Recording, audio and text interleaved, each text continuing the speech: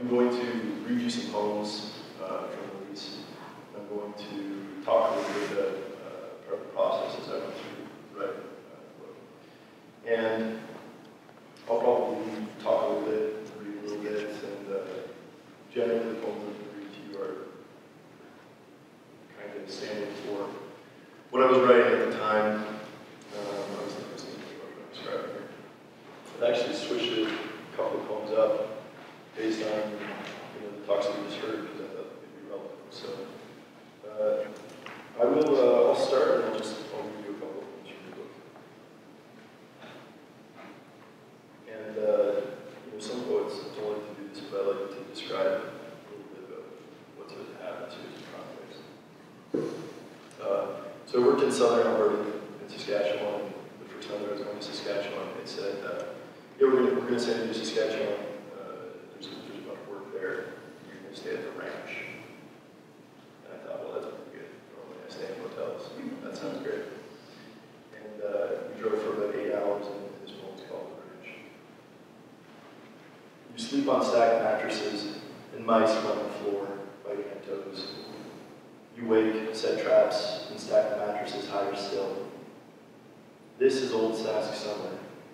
Flax and mustard paint the horizon the bright yellow color of the sun you find in children's pictures. And always the sky is just another dead prairie above you.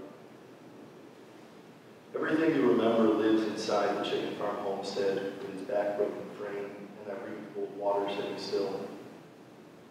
At night, the house breathes with open windows, swells at the seams. At sunrise, it exhales a dust so fine you think of bull hearts dried the ground. When it's gutted furniture, you find imprints in the carpet. Four beds, two dressers, a shelf. And from those years when no one kept it, from before the oil and the oilman came, the mark where the deer walked in, lay down and died. Fenceless. There are no signposts, no old man waiting to tell you here. This place repeats itself. Everywhere you've been is folded in grass and dirt. You blame chance, not science, for putting in here. Like no seismic charts were read, no holes drilled. If wealthy man and God just wanted you sweating in the mud. But the cows, they can find borders even under daylight sterile sun. Watch nations grow from blueprints divide the plain by men and else. They graze away, uncountable, unheard as you walk the field, tool to tool, no sense of what is yours and what is not. At midnight, under the shelter of the flare, everything is smaller. The world flits in firelight. Cows gather in the darkness at the edge of the site, scratching thighs against steel tankers. Gut sounds and groans fill the east like braille. Coyote howls for each other in the stark beyond your sight. The flow and whistle of the wild quiets in your world flare begins to shrink. You feel your stomach tighten. A dirty man at a tundra fire, wrapped in leather, chewing meat, a thousand years ago. So, I was working uh, in southern Alberta, Saskatchewan, in summer here in undergrad, for a year usually following high school. And I went straight from uh, kind of doing this work to uh, moving to Toronto and uh, starting MFA. I walked into a room full of poets and I was kind of uh, still very much in love with it. And I hadn't really planned on writing anything about the Oilfield or that work. Really, uh, I wanted to write just about anything else because generally I felt like I was putting in time. Uh, it wasn't something that I particularly wanted to be doing. But as I started writing poems, uh, the oilfield was just seeping in. You know, the people, the equipment, uh, what I've been doing. And it got to a point where the, the joke would kind of be that it was, I was contaminated in some way. That whatever I wanted to do, this oil was going to be cleaned off, I could get rid of it, eventually going into it. Um, and as I started writing these poems and sending them out, I was noticing that people, for some reason, were, were really interested. Uh, and, you know, outside of, you know, whether the poems are quality or anything else, you know, I've got friends who are writing great poems, but they're not getting the same attention. And uh, trying to figure out why exactly people were, were interested, one of the things that Down on was this sense of, of authority. Um, and people were, were just believing whatever I told them about the oil field, uh, whatever I told them. And I started to wonder where, where exactly this authority is coming from. And one of those things was naturally just, you know, history of experience. One of the other things was that, for the most part, at least in Canadian poetry, I was walking into an empty space. And there had really been anybody writing about this particular scene. Um, and there really wasn't a whole lot of, you know, what we call work poetry in the first place, at least not in Canada. And personally, I hadn't been framed in that way at all. In my mind, I was writing, you know, kind of confessional poems that took place in the oil field. And that's how I expected things to be interpreted. As people started, you know, writing about the book and doing reviews and everything, um, you know, the more prominent the review, the more I lost control of what kind of poem I had supposedly written. So at this point, I've come to accept that I was writing work poetry, I guess. So those were some of the places where, where that authority was coming from. As I sort of queried these, I, I found you know, a few more. One of them was that I had just come from the oil field and showed up in this room full of poets. And my hobbies are like Thai boxing and things like that. In a room full of poets, uh, I presented as a very stereotypically masculine person, more so whenever I first left the oil field. In a room full of oil workers, not so much. And so I just had this authority given to me over this, you know, very male-dominated realm. Uh, and, and then I started to think basically about where that authority factored into the poems, um, what was happening, because I wanted to break down what was working, what wasn't, and you know, work toward completing both my series of poems. And I'll talk about it more in a little bit, but um, I'll stop and, and read a couple more poems here. Uh, and I think a couple of these might be uh, touching on some of the other stuff that's mentioned today.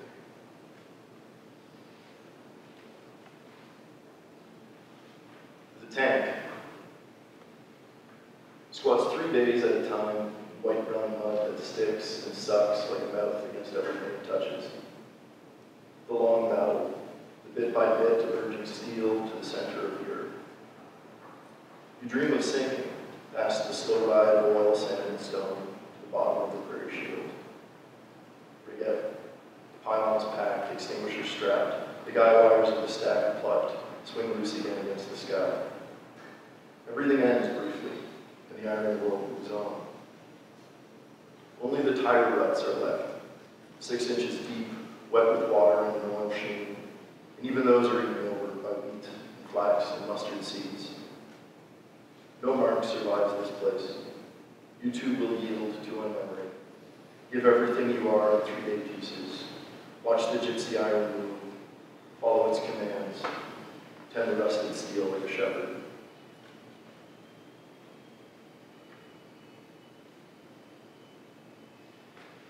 Uh, so, I've written, uh, I put a few different types of poems basically throughout the book, and I focus on uh, a series of areas. One of them is just a general poem about experience or something like that. I did a few poems about very specific equipment, like I just read, and then I did a number of portrait poems about people who I met. Uh, I'm going to be doing one of the more general ones now, and we'll go into people. Uh, this poem is basically about coming back from a job site one time and kind of seeing the smoke off in the distance on the way into town and, uh, and realizing very likely we were driving up toward blowout that had a well.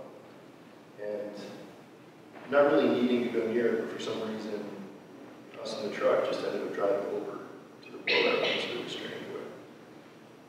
Uh, the place where this was taking place was called Newell, and that's there.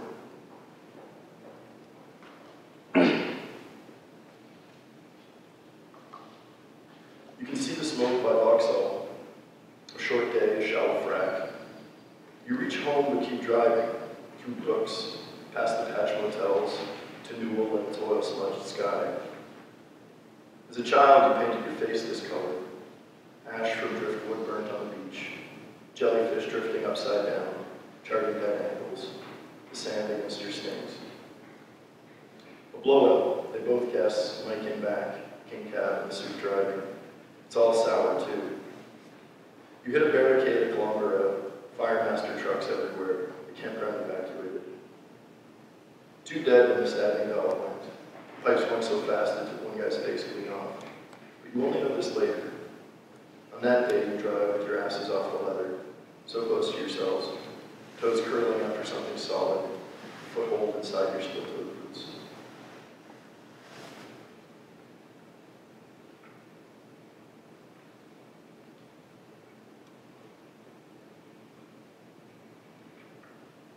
So I, I hadn't planned on reading this next one, but then I got excited whenever uh, I heard Piper Alpha in a not morbid way.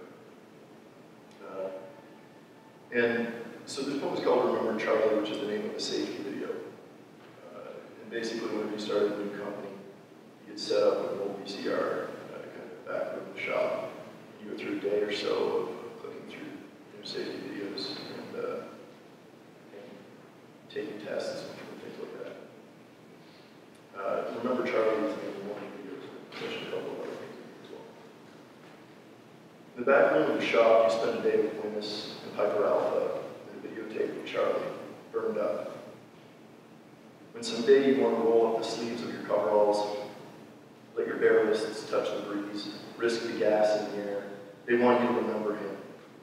How he pulls his red sweater up his arms, and how you will always see his pale skin is darker and redder than the yawning mouths of the dogs who terrorized your youth. The video finishes, the VCR gears click, the tape rewinds to the next guy, and you start guessing at appearance fees, video royalties. Later, you and the boys will bargain on skin percentage, trade burns or breaks, bulk sell your fingers for a better deal. You all figure you cook half your body, the lower half, for even million. When Joel's wife shows up for his paycheck a few weeks later, when you watch the half-circle barrel-edged nub of his wrist forget itself and grasp a beer, you find yourself tuned to every clash of steel on steel. You see snakes shedding skin in hospital beds. You remember Charlie. You to wait.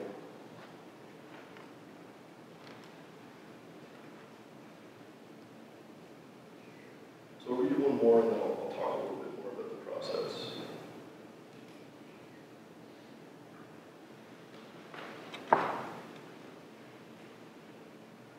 Uh, this one is called Under Air. It's basically about uh, working in a, on a job site with a lot of hydrogen sulfide, uh, which I, I'm guessing everybody has some sense of.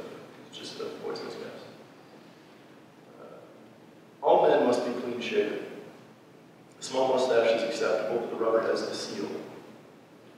Here, your pale boy face is a virtue. The men don't tongue you ten razors a month. You're lazy, you don't lift much, and you can barely hammer, but you can stay under air for hours. The steady in and out sound of oxygen rushing your face through its tubes, the urgency of gases, forever escaping itself. Even sour gas, heavier than air, hurries to the earth. Your suit watches you 30 feet away, waiting for you to drop. And you think of how the gas can kill your lungs, your brain, but your ears, they're fine, your fingers, fine. And could it get into your coveralls and sneak up inside your ass, finish you that way? Incident report. Fatality. Worker dies from H2S anus contact. All employees must wear latex underwear.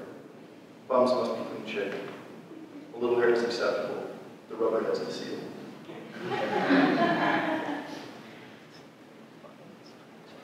So, I was talking basically about realizing that I was trading on a couple of things uh, in order to write poems and have them affect people. One of those naturally was just having done the work. But the other was the sense of kind of exaggerated masculinity, much like know, much of the oath itself. And, uh, you know, certainly I wouldn't be first writer to cash in on, on toxic masculinity for a word.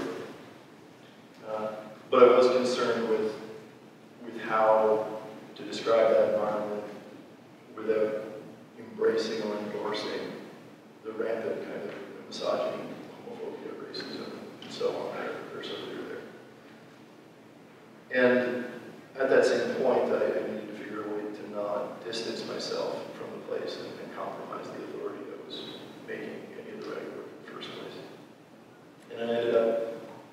caught between two audiences.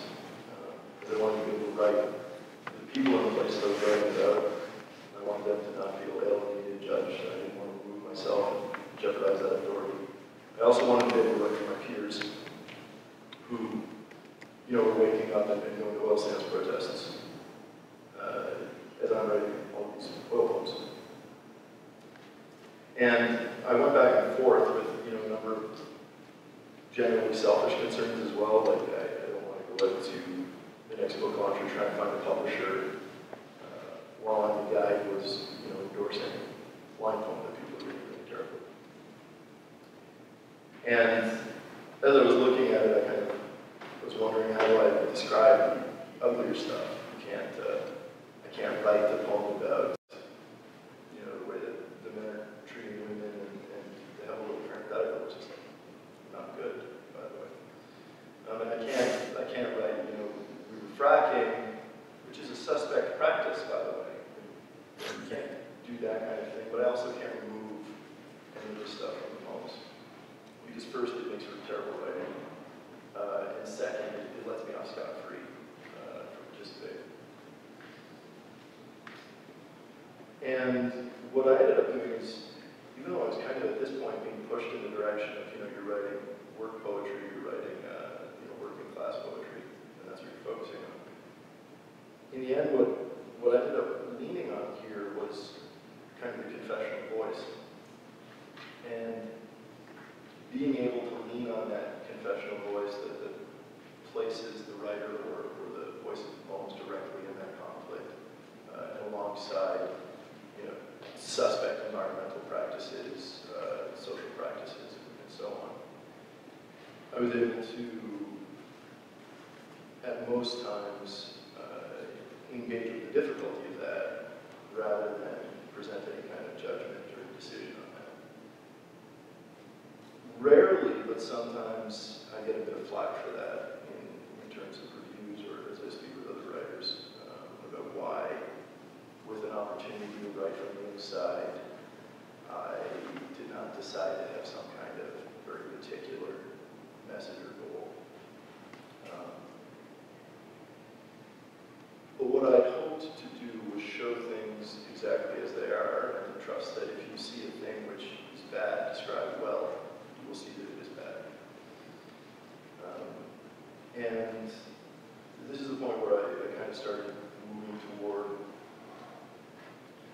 uh, more difficult poems, poems that are less comfortable, um, both to read or to give over to a reader. And I'll read you a couple of those now.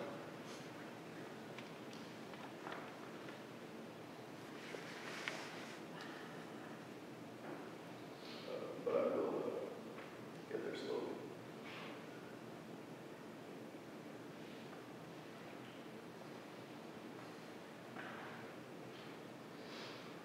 One thing, speaking about kind of ethical presentation of things, one thing which I had been doing here for all the portrait poems is change the names of the people. My publisher insisted that just in case, we better make sure we change these names. And what I've been doing since literally the day that it was published, anytime that I read anything, is I come in and I read the name of the poem, I tell the stories that I just told, and then I give the real name. And uh, I realize it's not the wisest thing, but I'm about to do it again here. So this is a this is a poem called Stephen, but it's actually called Lawrence in reality. Loves his kids, hates their moms. Wears white beaters like someone slapped a paintbrush down his chest, left him stained, white striped and dirty.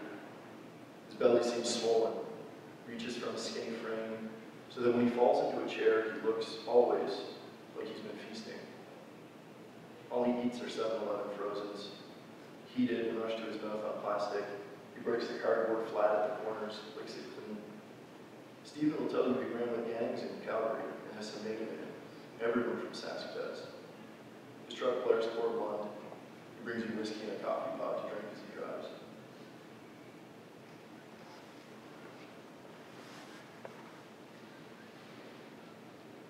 So we've got two more here. Kelsey. This girl was supposed to be Stephen's. When after a few drinks, she starts kissing you, he tells you to fuck off and leaves, comes back later while she's pissing and asks if you will share. Just home for the summer, she's suspicious. Thinks the green bikini is your way of tricking girls into bed.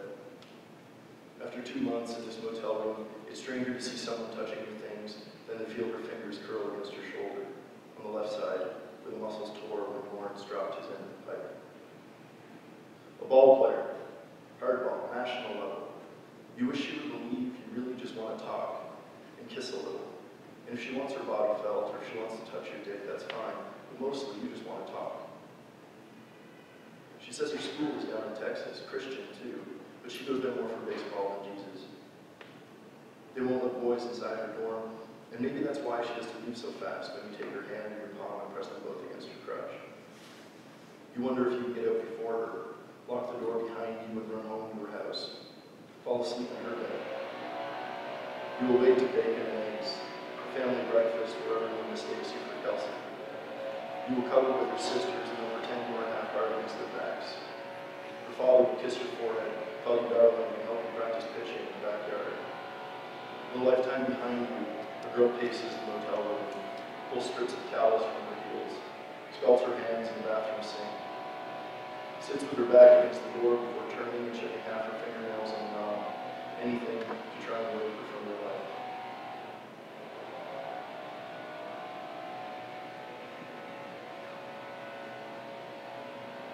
So read one more of the kind of rougher poems. What you do. At some point, you will drip oil from your glove to the ground and think of how far this place is from real. You will watch men catch gophers, paint them red, and let them rip each other apart for fear of blood. You will call women wars, measure distance and contact, and encourage men to get him some gash. You will wonder if you're still Catholic enough to keep a sin, and if these sins are sharp enough to leave you scarred. James wants to tour Thailand. He's excited about the cheap sex, the freedom from condoms and lube, and a chance to make a woman who does not know, cannot know for lack of language, cry out from his roughness. Or at least that's what he says. Maybe he's just afraid that one of you would reach out and hold his head and press your forearm against the small of his back. Or maybe he's that rare man who's exactly what he says he is. When he talks, you please and pull away, or grow a little more like him for all your shutting up. As if he could leak into you with words, as if they held any power here.